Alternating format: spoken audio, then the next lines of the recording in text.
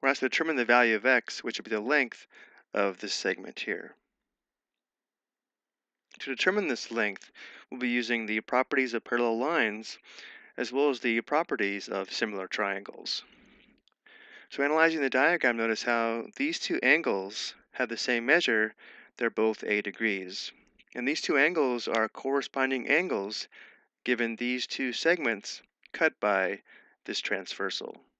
So because these two corresponding angles are congruent, we know these two segments must be parallel. So this segment is parallel to this segment here. And notice how these two parallel segments are also cut by this transversal, and therefore these two corresponding angles must also be congruent. So this angle is congruent to this angle here.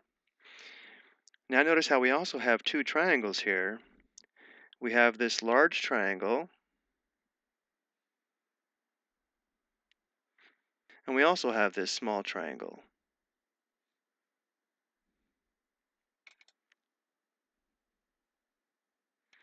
Now notice how these two triangles have two angles that are congruent to one another, and therefore by angle-angle similarity, these two triangles are similar to each other.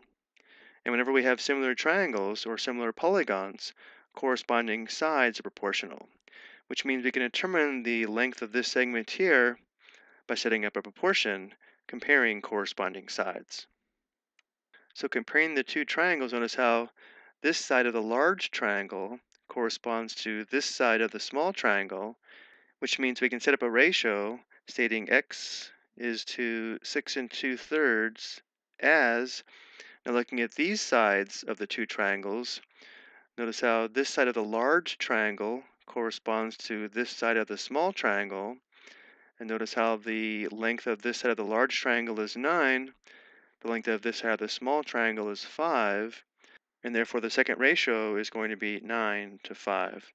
So again, this side of the large triangle corresponds to this side of the small triangle, giving us the ratio of x to 6 and 2 thirds and then this side of the large triangle corresponds to this side of the small triangle, giving us a second ratio of 9 to 5.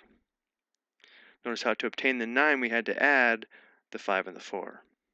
Now that we have a proportion, we can cross multiply and solve for x. So x times 5 must equal 6 and 2 thirds times 9. So x times 5 would be 5x equals, again, 6 and 2 thirds times 9. For the next step, we'll write 6 and 2 thirds as an improper fraction. So we'd have a denominator of 3, and the numerator is going to be 3 times 6 plus 2. 3 times 6 is 18. 18 plus 2 is 20. So 6 and 2 thirds equals 20 thirds. And then we have times 9, which will write as 9 over 1. Now still simplifying the right side, we're going to simplify before multiplying.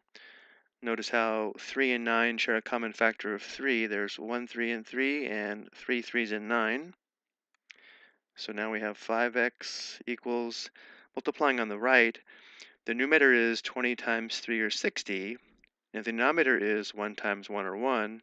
60 over 1 is just 60. So now solving for x, we divide both sides by 5. And we now know the value of x is 60 divided by 5, which equals 12. So because x equals 12, we know the length of this side of the larger triangle is 12 units. I hope you found this helpful.